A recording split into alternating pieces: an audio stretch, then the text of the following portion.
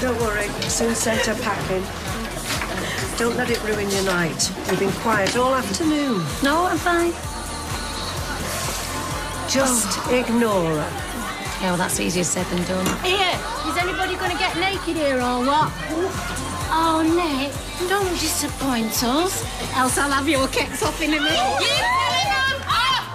Yeah, can we get things started, please? I don't know, you might make a nice hors d'oeuvre.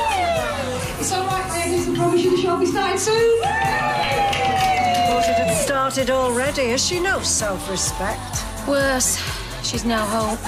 Well, that's her problem. Don't let it get you down. No, I don't know.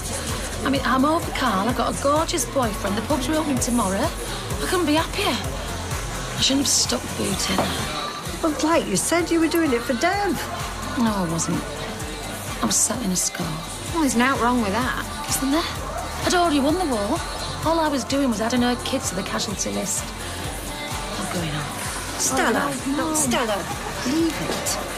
Oh, this night just goes from bad to worse. Well, why don't you go home, Anita? You're not doing yourself any favours love. Whereas you can't do enough for me, can you? Is there a problem here? No, we're fine. Um, I just, um, I shouldn't have said what I said earlier, and, um, I should have thought about the impact on the kids, and I'm sorry. Sorry. Oh, well, that's going to more than compensate for my kids growing up without their father. You make me sick. You stand behind that bar, dishing out your pearls of wisdom. Saint Stella of flaming Weatherfield. Truth is, you just like sticking your nose in. You're like Norris with bad roots. Now, hold on. No, you hold on. Try listening for a change. Might do you some good. Me and Dev could have been happy. We could have been a family again. But no, you couldn't leave us alone. Leave you alone? I was a good friend to you until you cheated on your fella with my bloke. How is that my fault? Because you couldn't keep Karl happy. Oh. Because you're too busy living other people's lives. You listen to me. You're gonna regret the day that you ever mess with me and my family. All right, that's it. End of the night for you. Take your hands off me. Come on, get out. Don't come back. You're not welcome here anymore. Get out. Get out. Ladies, attention please. It's time to get this evening underway. Woo! Now, by day, he drives a taxi, but tonight he's going to drive you lot wild. I give you Mr. Calderon.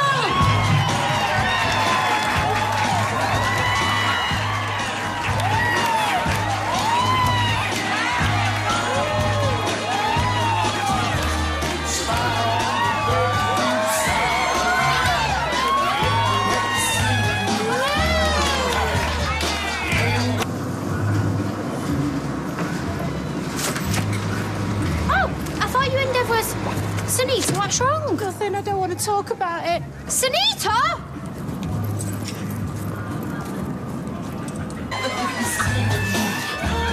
Oh, we're easy pleased, aren't we? Do you call that dancing? He looks like he's trying to dry himself with an invisible towel. Hey, you should lend it to Stella when he's done with it. oh, I have to say, He's in very good condition for his age.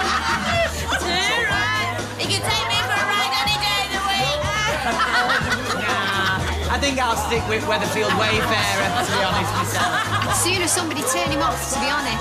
Oh, do you know what? I actually feel a bit sorry for him. He puts me in mind of that chauffeur from Thunderbirds, the one who drove the pink roller with Lady Penelope in it. Parker, you mean? Oh, I think you're a better dancer, to be honest, strings and all. Oh, I've had enough. I'm going home. Oh, you can't go. It's only just started. Oh, look at the start to me. Anyway, now the hot water's back on, I think I'll have a soak in a nice hot bath. Don't you want to see Jason's turn? Well, I'll, I'll not miss anything I've not seen before, Mum, will I? That show comes on to me in one piece. Oh, I love it. What